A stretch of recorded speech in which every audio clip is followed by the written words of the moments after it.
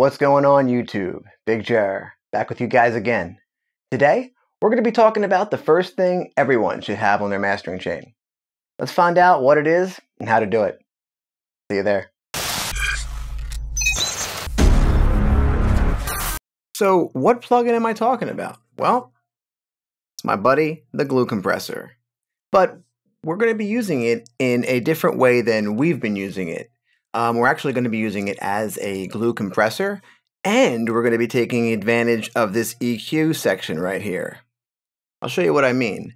But first, let's take a listen to this uh, little 30 second uh, section that I got here. It's just a small track that I've been working on. We'll listen to the build, into the drop, and then I'll show you the power of this um, glue compressor on your master used in this way. All right, let's check this out.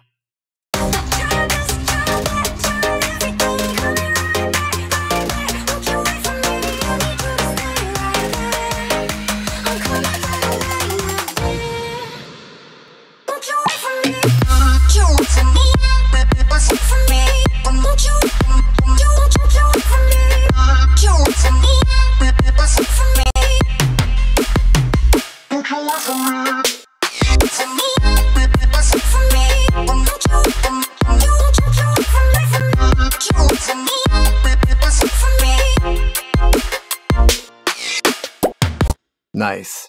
All right, cool. Yeah, no big deal. Just a little vocal juggle there. But let's talk about the power of this glue compressor. Okay, cool. So here's the deal, right? We're making bass music, whether it's dubstep or trap or hip hop, either way, modern music has a very low sub, very high energy, low, powerful sub. And, you know, that's great. And we love that. I love that. But, you know, we have to have our music compete with that. Let me show you what I mean. So if I go over here, right, and I turn off this glue compressor, notice how much bigger the sub is. In fact, when I say bigger, I don't mean louder because it's not any louder. It's the same volume as it was before, but notice how now the sub is the front thing and we don't really we don't want that at the end of the day. So um, i'm going to kind of toggle back and forth here and notice that when this is off the sub is really kind of at the forefront of the mix um, and when i turn it back on notice how the music kind of sits a little bit on top now of the sub. Let me show you what i mean again. Let me just jump right into the drop for you too.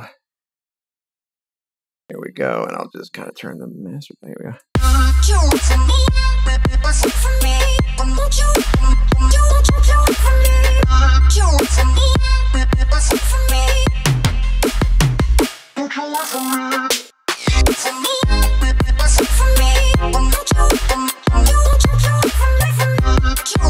it's a huge difference. It's one of those very subtle things that you know, you might have tried to fix this in your master by compressing your sub, but we're going to actually do the opposite of that, okay? Let me show you what I mean. So I'm going to turn this on. In fact, you know what? Let's just uh, delete this and build this from the ground up so there's no um, confusion. Okay, go ahead here, grab myself a glue compressor, and here we go, right? So I'm going to open up this, um, this arrow, and this is usually the sidechain mode, but we're not going to use sidechain, right? We're going to use this EQ. Now, this is interesting. Um, when sidechain's on, and then I turn the EQ on, this is how we tell the compressor that we're like, hey, you know, don't listen to the whole, you know, kick with when we're sidechaining. Listen to, you know, everything above, you know, 1.8K. You know what I'm saying? So this is kind of filtering out what the what the compressor sees when sidechaining. But if I turn this off, then this filters out frequencies that shouldn't be compressed. So what I want to do, right, is I do want to have it on um, low cut. Again, we're not cutting out lows in the song. We're just cutting out what the compressor can see. And I'm going to bring this up to like 150. Uh, if this was more of a dubstep song, I'd probably have this down at around 100, so I didn't cut off any of those um, low bass growls or whatever. But since this song is mostly just a vocal chop and uh, 808, um, I could take it up to 150, no problem. Okay, what I'm going to do is I'm going to bring my attack down one click and my release up one click. Okay, this uh, usually works around this tempo for me. And I'm going to leave it on a 4 to 1 ratio because I don't want to get that much compression. I'm just trying to, again, here, I want to say everything below 150, you're cool, chill.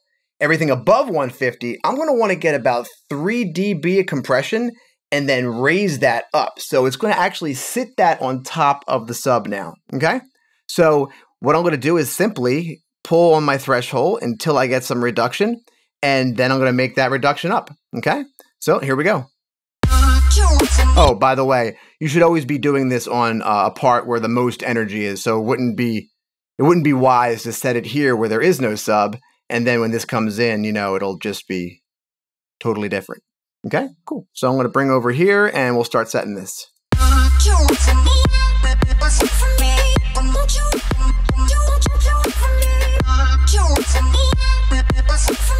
So that looks like that looks like it's around 3 dB of compression. So then I'm going to just make that up right here. One, two, and three.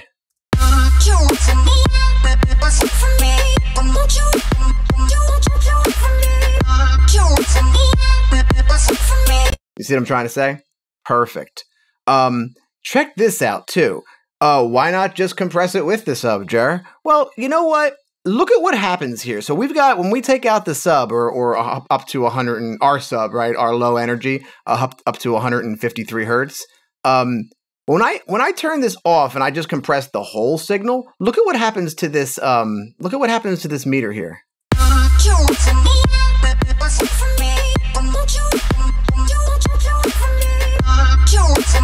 Look at how much it jumps up, right? I mean, you're getting another like three, four dB of compression, and that's all sub. So you have to think about how big those sub waves are. Um, and when you run them through a compressor like that with the rest of the song, you know, they're the ones that are actually getting the most compression, you know, especially um, when it's not like a, a peak compressor like this is not. Um, so, you know, by rolling this off, we're able to focus in on what we want to compress. And that way we can now get a better differential between our low end energy and, and the rest of our music. All right, guys. I hope you learned something. This is something that I like to do on all my tracks, okay? So anytime you have that low 808 or that low sub, give this a try. I think this will become uh, a staple in your mastering chain. If you guys found this useful, don't forget to like and subscribe. We got to get those uh, those followers up so I can keep helping you guys. All right. Catch you soon. See ya.